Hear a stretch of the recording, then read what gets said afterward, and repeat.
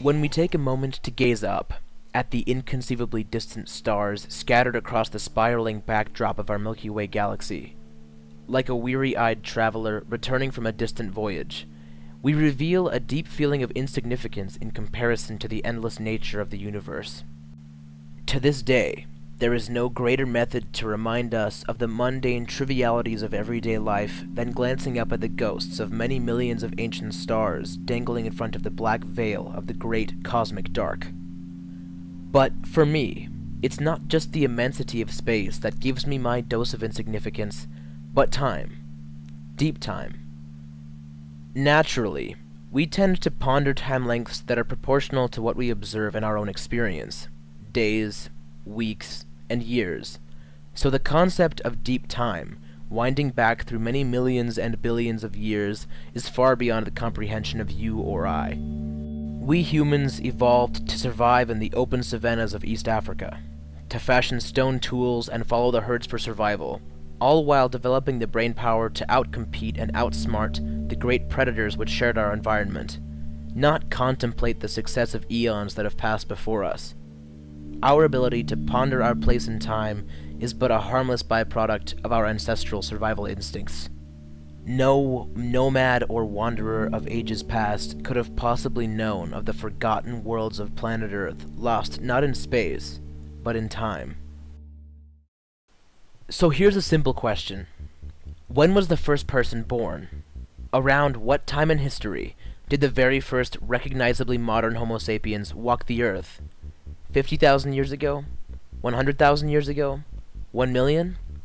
Well, truly, there is no real answer, because there was never a first person.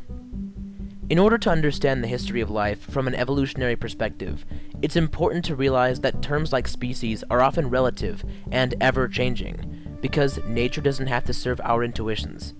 Evolution is a slow process, where in times of environmental change, every generation is slightly different from the last.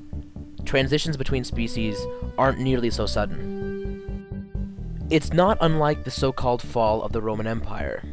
In this case, too, we tend to think of transitions from one historical period of time to another as a sudden collapse, an event of some kind, wherein one day the classical age was humming along as usual, and then suddenly, the barbarian hordes attack, the walls fall, the emperor is deposed, and the people are killed, enslaved, and scattered along with their civilization, lost forever to the dust of time.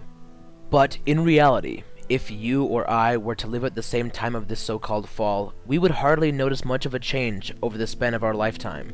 Just a subtle policy shift here and there, a slight change in cultural emphasis arises, some new gods pop up while certain old ones slip further away into obscurity, while essential portions of infrastructure are no longer properly repaired and maintained, until eventually, over the span of decades and centuries, things slowly evolve into something totally different.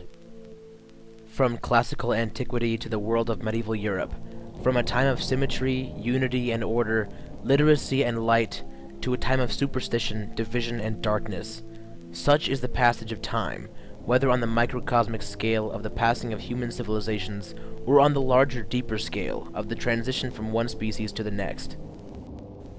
Just imagine, we animals, plants, fellow humans, entire ecosystems alike are all perpetually living together in the flowing stream of evolution. We are all collectively floating downstream together in a mashup of currents, tides, and whirlpools, all affected and being affected together by the same selective variables in our collective environment.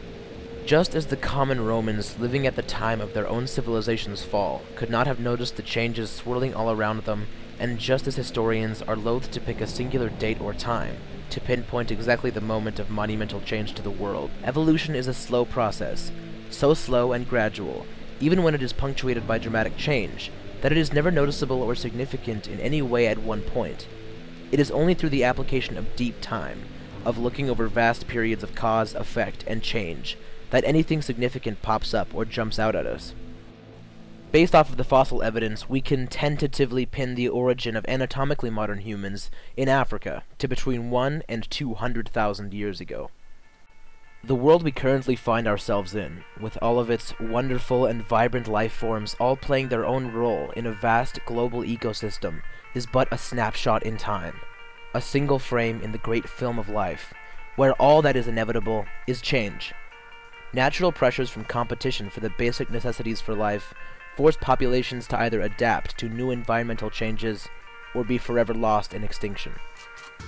In its multi-billion year-long history, life on Earth has seen countless environmental changes, many harmless, some catastrophic, where species have either vanished or developed new adaptations to cope.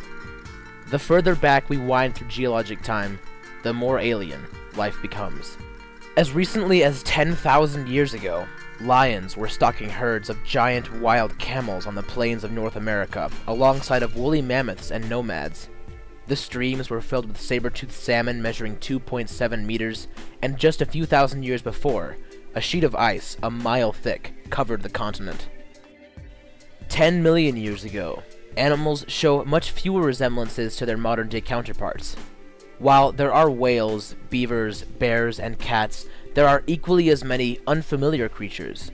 There were great predators, such as the entelodonts and the nimravids, preying upon three-toed horses and giant sloths. Life 150 million years ago paints a very different picture. This world, one ruled by giants, is set in the middle of the age of dinosaurs. Here we find a menagerie of great reptilian beasts, like the colossal sauropods and the spectacular Stegosaurus. Dinosaurs like Tyrannosaurus and Triceratops lived at the very end of the age of dinosaurs, some 66 million years ago, 85 million years after the last Stegosaurus vanished from the Earth. More time separates Stegosaurus from Tyrannosaurus than Tyrannosaurus and us. 500 million years ago, the land is barren, desolate, void of life. But in the seas, however, lies an alien world. The competition for survival had begun long ago, and the competitive pressures have already produced life forms just as beautiful as they are bizarre. Many of these creatures we will never know existed, their soft bodies too fragile, their existence too obscure for their remains to last through the ages. All while life has been competing in the endless war of nature, the continents have been rearranging themselves even more slowly than evolution. Collisions and tears have reshaped the Earth's surface countless times. Given millions and even billions of years, nothing is static. Change happens. Oceans rise and fall, mountains form and degrade, species evolve and die off. All in all, in deep time, all that is certain is change. Eventually, even we humans will become extinct and be forgotten forever. When? Nobody can say. How? No one is sure. But what we do while we are here is up to us.